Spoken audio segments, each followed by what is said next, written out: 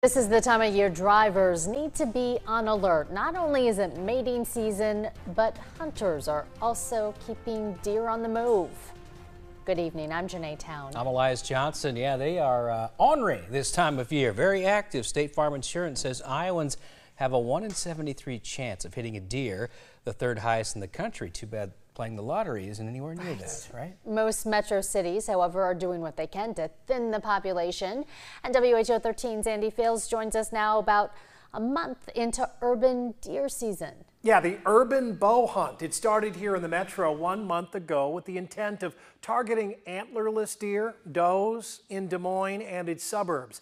Now, these hunts are highly regulated, done from tree stands and well away from buildings and roads trying to thin a growing deer herd that can't be controlled through typical methods.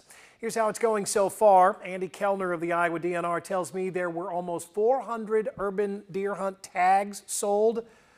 81 antlerless deer have been taken so far. Two bucks, those tags were given to hunters who took a certain number of does last season.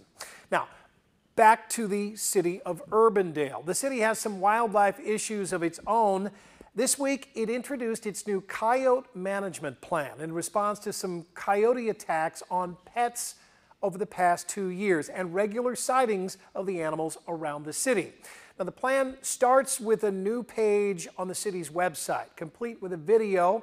It gives tips for how to keep your pets safe and what to do if you see any aggressive or alarming behavior from a coyote and some tips for making your property less attractive to coyotes, which includes moving or removing your bird feeders.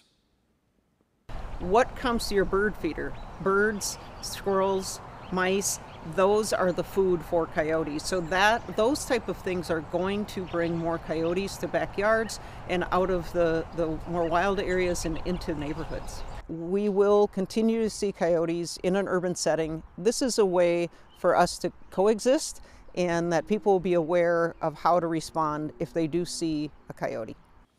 So Urbandale residents who witness aggressive behavior from coyotes should call the non-emergency number at the police department in Urbandale, the number here on the screen. Some other facts about coyotes from the Iowa DNR. They are everywhere, whether you know it or not. Urbandale, downtown Des Moines, heck, they're in downtown Manhattan. And to very small dogs, they can be a threat, but they're not big animals themselves, only about 40 pounds on average. That's about half the size of a male golden retriever. Okay, some good facts to know, but yeah, things are getting wild out there this time of year, Andy. They are. Those animals on the move. Yeah, they are. Thanks, Andy.